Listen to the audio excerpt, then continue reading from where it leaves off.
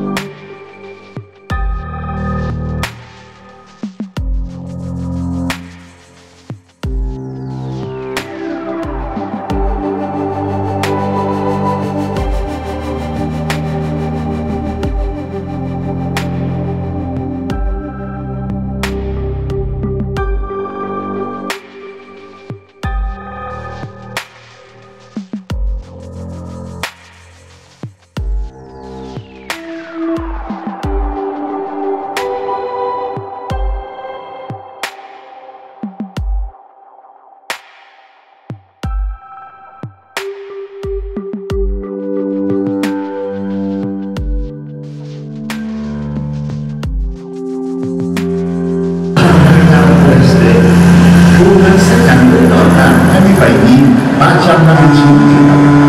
đây là năm thứ hai thu ngân sách trên địa bàn tỉnh vượt qua con số 20 nghìn tỷ. Đồng một số dự án lớn đã hoàn thành và đưa vào sử dụng như